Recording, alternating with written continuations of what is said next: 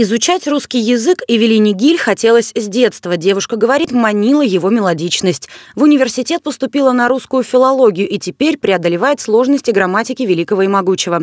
В Россию попасть очень хотела, но не только, чтобы познакомиться с традициями и культурой. Оказалось, что путь к сердцу туриста лежит через желудок. Я, когда я приехала в Самару, тогда э, впервые э, ела русские блюда мне очень, для меня очень вкусные, например, солянка или э, уха, или э, ну, блины русские. Я всегда хотела попробовать, как они, э, ну, как они по вкусу, и, но в Польше таких нет.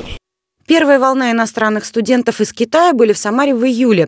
У многих возникло желание не просто приехать снова, но и остаться, чтобы продолжать образование и, возможно, жить в России.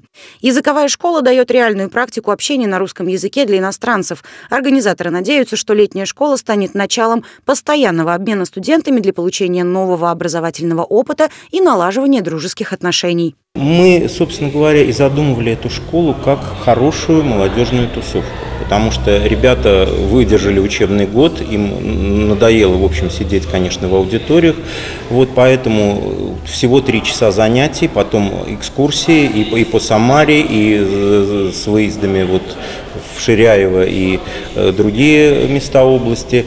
Экскурсии по музеям, исследования исторического центра Самары, конечно, Волга и пляж. Для ребят путешествие в Самару – настоящее приключение. Третий этап летней школы начнется 20 августа. В Самару приедут еще 29 студентов из Польши, Великобритании и Тайваня.